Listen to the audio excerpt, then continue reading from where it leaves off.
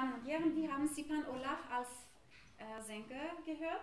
Jetzt werden wir ihn als äh, Pianisten hören. Er spielt für Sie Elegie von Arno Babajanian.